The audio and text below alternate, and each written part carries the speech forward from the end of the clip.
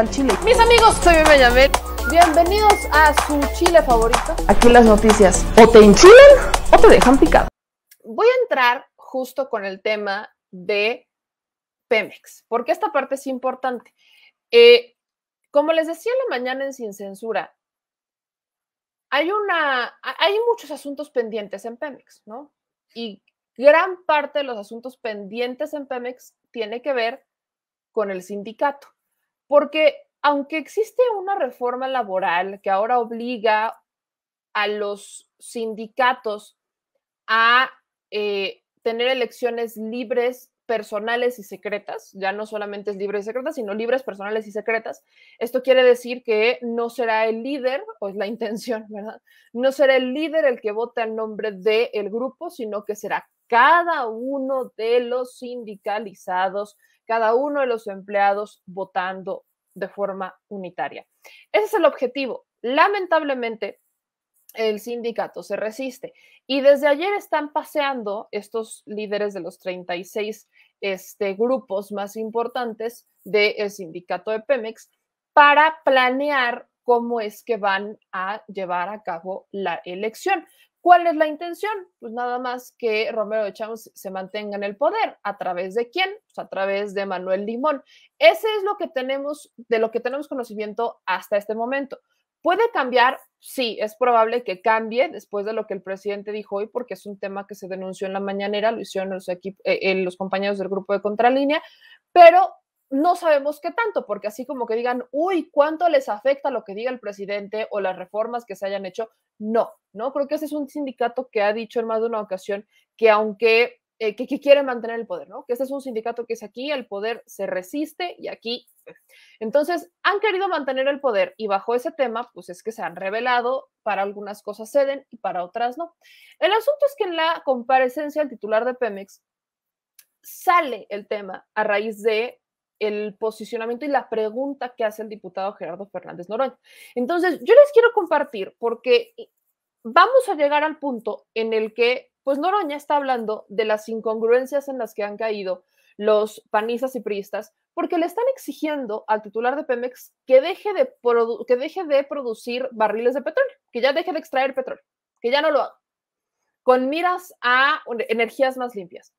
Pero también les cuestiona porque dice, yo no sé cuántos de ustedes tienen coches eléctricos, porque yo los veo con automóviles de ocho cilindros y de combustible, ¿no? Para todavía ser todavía más enfáticos, por si alguien por aquí andaba despistado. Yo, no los veo andando con coches eléctricos, entonces sí que como que digan, uy, tenemos una razón para que dejen de producir eh, barriles de petróleo, pues la neta es que no, que los dejen de extraer, pues no, no hay una lógica en ese sentido, desde la más burda y vaya la más eh, todavía más elaborada es que México estamos, o sea, todos los países están en una transición energética. Ninguno ha llegado realmente a ya depender al 100% de energías limpias. Ninguno. Eh, de hecho, se los he puesto y hice ahí un pequeño TikTok sobre este pleito energético global y ahí está el tema. El punto es medular.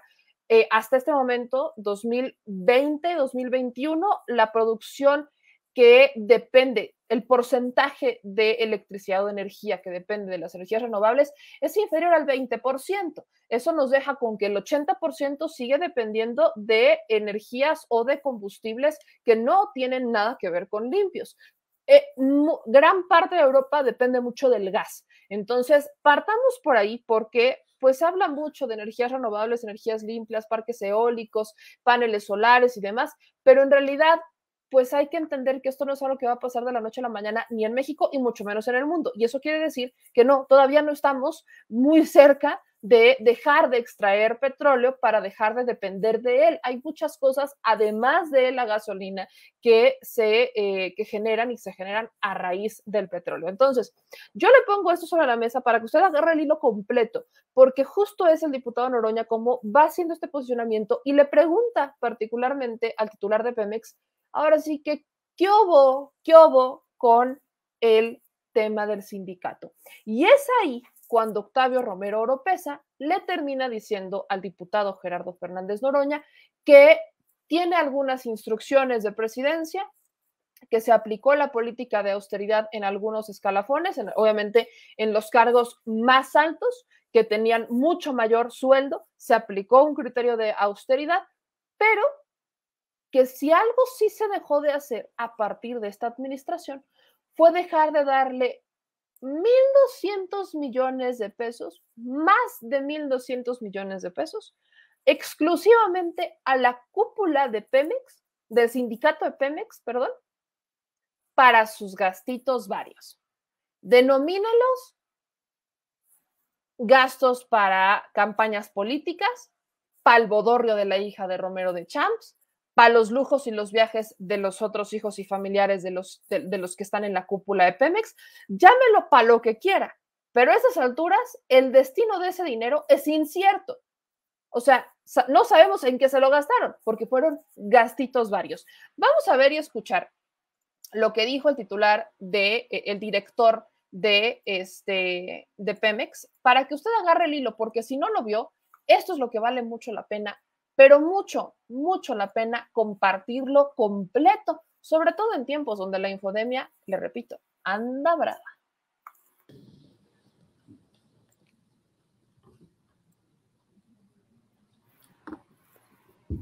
Gracias, diputado presidente. Me voy a permitir hacer dos sugerencias.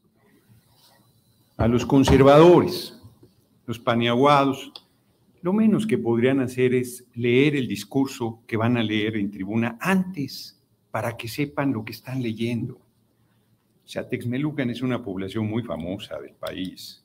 Ahí hubo una petroquímica, una planta de petroquímica. Si uno viaja por tierra, siempre todavía está una parte.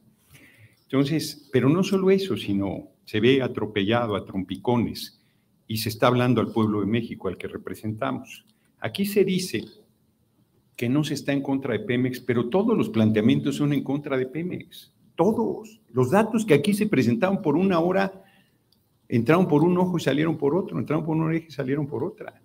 Es tan absurdo, es tan singular lo que aquí se debate, que Movimiento Paneaguado le pide al director de petróleos mexicanos que no extraiga petróleo, que no apueste a esta fuente de energía, que piense en energías renovables.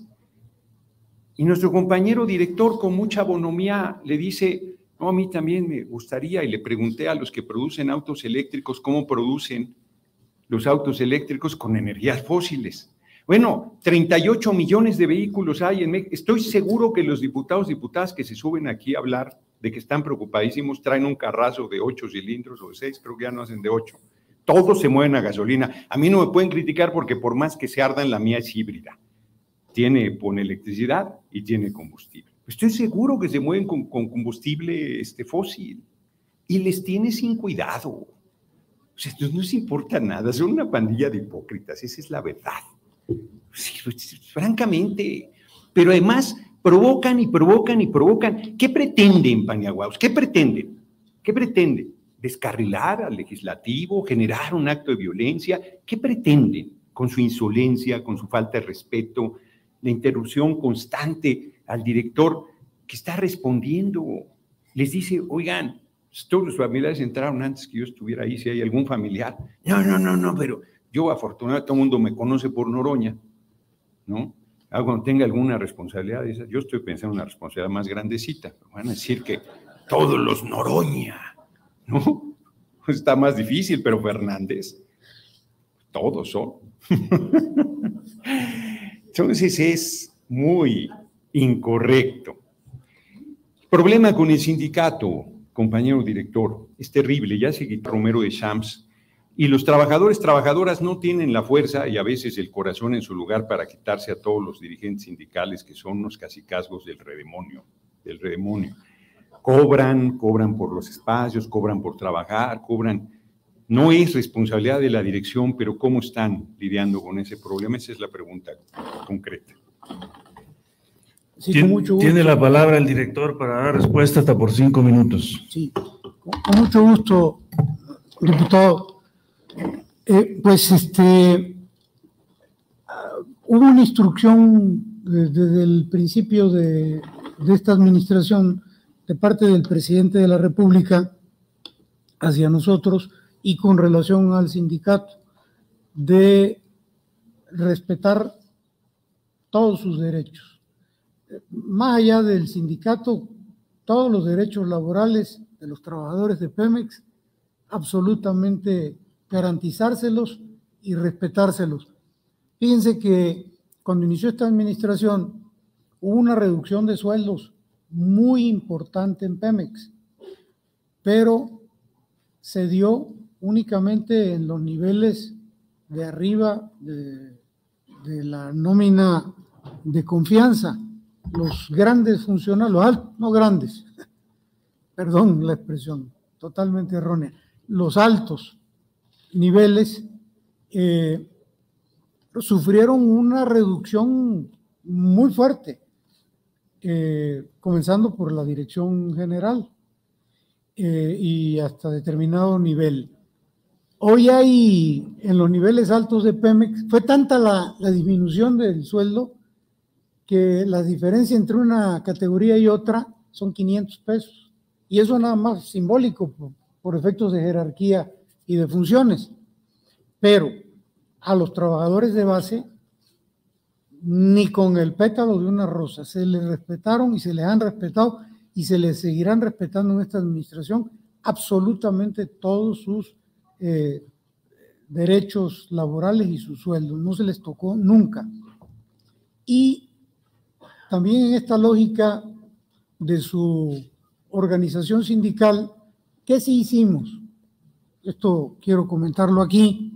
Cuando todavía estaba el anterior dirigente del sindicato de Pemex, era eh, antes de que se fuera, ¿qué sí hicimos? tuvimos una primera negociación eh, laboral, que hay negociaciones que tienen que ver con las condiciones eh, laborales y con el sueldo, prestaciones y, sueldo. Lo del sueldo no hay ningún problema, siempre se les otorgó, pero a nivel de, de la cúpula sindical, a nivel de la organización sindical, de los líderes, recibían de, de Pemex, de la dirección de Pemex, y histórico el asunto, una cantidad mucho, muy importante. Se les entregaba, por ahí, recuérdenme la cantidad, Marcos Herrería. ¿Eh? 1.200 millones de pesos, que se les entregaban para gastos varios, independientemente que la cúpula sindical, la dirigencia sindical, recibe las aportaciones de todos y cada uno de los ciento y tantos mil trabajadores sindicales. O sea, manejaban una fortuna. ¿Qué si hicimos nosotros? Cancelamos eso. Eso se acabó. Eh, les hicimos saber que esta era una nueva administración y que eso no iba. ¿Por qué no pasó nada? ¿Por qué nadie dijo nada? Porque ese dinero nunca iba para el trabajador, era para la cúpula sindical. Los trabajadores siempre siguieron recibiendo lo de ellos, jamás tuvimos ningún problema, ni lo hemos tenido. Con la cúpula sí sintieron el, eh, el tema de la austeridad, porque eso se los quitamos de encima. Bueno, con relación a, a cómo se organizan, hemos sido absolutamente respetuosos, diputado. No nos metemos más que para ayudar si es necesario. Fuera de, de eso, nada, libertad absoluta. Eh, quien lleva las negociaciones, ahora que se va a dar la nueva elección de la dirigencia sindical, por, por norma, por ley, es la Secretaría del Trabajo y nosotros coadyuvamos para que las cosas se den. La idea y la instrucción del presidente es que sea una elección limpia, libre, democrática, abierta, incluso eh, con secreto. voto secreto y electrónico a través de equipos de telefonía. Entonces, en ese sentido va evolucionando en esta idea de que ya no sea en una asamblea donde, a ver, levanten las manos los que van a votar y esté el líder ahí, viendo para tomar represalias. Entonces aquí que sea secreto, que sea electrónico y que gane el que tenga la mejor organización, la mejor propuesta. Nosotros respetuosos absolutamente, diputado. Tiene la palabra el diputado Gerardo Fernández Noroña para su réplica hasta por tres minutos. Seguro no será nota, pero que conste 1.200 millones de pesos al sindicato de Pemex para sus gastos de campaña. Ahí, nada más para empezar. Aquí en la información que nos presentaron. Ahí está el tema.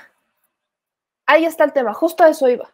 O sea, 1.200 millones de pesos que se les entregaban para sus gastitos. La pregunta que aquí se debe de hacer es, ¿cuáles fueron esos gastitos? ¿Cuál es el problema de los sindicatos? Que, pues aunque sí existe una posibilidad de fiscalizarles, son a los empleados a los que les deben de rendir cuentas, o sea, son los empleados que están afiliados al sindicato quienes solicitan o quienes tienen el control de la fiscalización, pero eso solamente es como en papel, porque en la realidad no se les hacen auditorías a los sindicatos, van por la libre y la cantidad de dinero que manejan es completamente discrecional incluso, o sea, a veces no tenemos la dimensión real del dinero que manejan en el sindicato de Pemex, porque no, no solo son las cuotas sindicales, Todavía hay muchas otras cosas que están negociando con los patrones y por eso tienen el poder que tienen, porque es un poder que no se ha logrado controlar ya que no se le ha podido fiscalizar, auditar y decir dónde está el freno. Ese es el problema con los sindicatos. Entonces, por eso valía mucho la pena que lo pudiéramos explicar o que lo pudiéramos poner, porque pues no solo es el dinero que recibían, sino es el dinero que se gastaban, en qué se lo gastaban, porque me queda claro que en ninguno, en ninguno de los casos, eso tendría algo que ver con los, este, con los empleados, ¿no? O sea, ese dinero no llega a los empleados. Eso era importante decirlo.